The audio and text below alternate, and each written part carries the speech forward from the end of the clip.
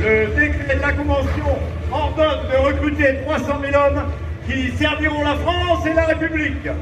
Vous nous avez déjà pris nos curés et maintenant vous voulez nous prendre nos enfants pour servir une République injustement imposée? Écoutez-moi Écoutez-moi tous Je suis innocent.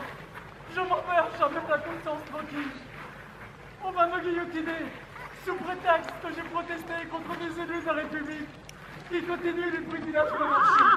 On va m'assassiner alors que les plus criminels sont ceux qui me condamnent.